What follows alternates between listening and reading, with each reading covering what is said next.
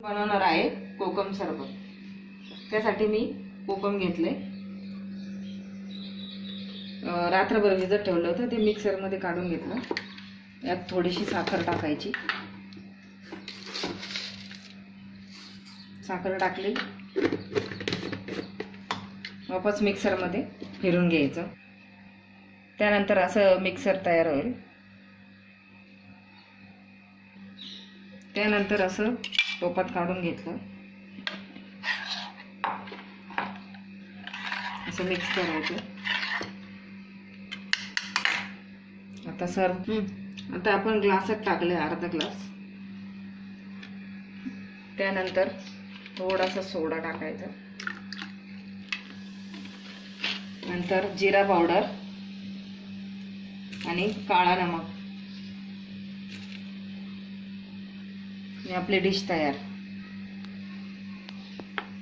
Like करा comment करा आणि शेअर करा.